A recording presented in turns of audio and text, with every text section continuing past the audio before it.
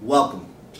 The most common light switch is actually referred to as a single pole switch. Now, single pole switch is found throughout various locations of your home, say to turn on the lights in your kitchen, your bathroom, or even your garage. Now, Leviton makes a number of different single pole switches, but the two most common are the Decora style switch and the toggle style switch. But what exactly is a single pole switch? Let's find out. A single pole switch turns on and off a light, an appliance, or any electrical device from a single location.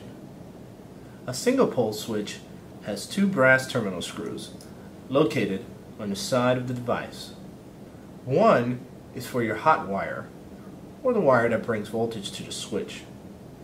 And the other is for your load wire, which is the wire going out to the lights, appliance, or electrical device.